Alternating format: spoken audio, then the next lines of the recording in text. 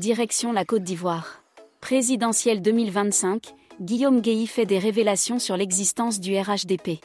Guillaume Guéhi, un des fils du général Robert Guéhi qui fut chef d'État, 199 à 2000, porte un regard critique sur la situation sociopolitique de son pays natal. Dans cette interview accordée à Le Débat ivoirien, il va droit dans sa critique contre le régime d'Abidjan. Suivez. LDI La vie politique est marquée par la nouvelle configuration du PDCI après le décès de Henri Conan Bédier et l'élection de Tidjane Thiam à la présidence du parti. Qu'est-ce que vous en dites? Guillaume Guéhi, le renouvellement de notre classe politique est une bonne chose. Cela est même indispensable pour revivifier les partis politiques et le débat national. Je trouve regrettable qu'il faille attendre la disparition d'un leader politique pour entreprendre le renouvellement de la classe politique. Il y a eu un changement à la tête du PDCI. Je souhaite qu'il y ait un changement à la tête du RDR devenu RHDP.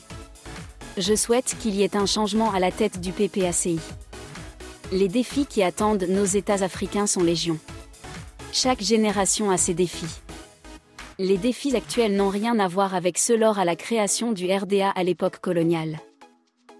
Tout changement est porteur d'espoir. Il appartient aux principaux leaders de ne pas décevoir.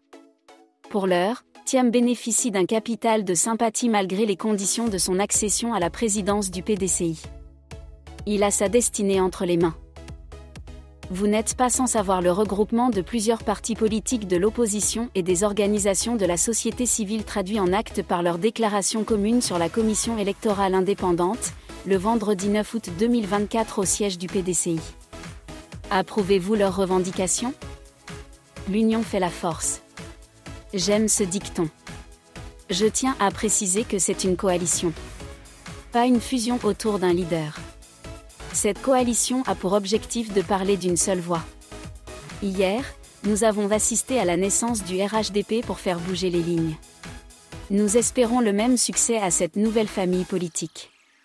Concernant les revendications, quoi de plus légitime que de faire compétir dans une atmosphère apaisée tous les Ivoiriens et les Ivoiriennes qui le désirent?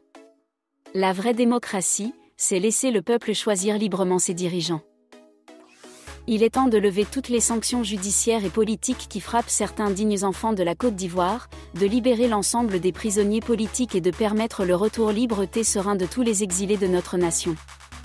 Les guerres de personnes ont assez duré et suffisamment été préjudiciables aux Ivoiriens et au développement de notre nation. Il est temps d'y mettre fin. Après les accords de Marcoussis, les partis de l'opposition avaient demandé et obtenu la recomposition de la CEID alors jugée inféodée aux partis au pouvoir. L'opposition d'aujourd'hui fait des constats avérés.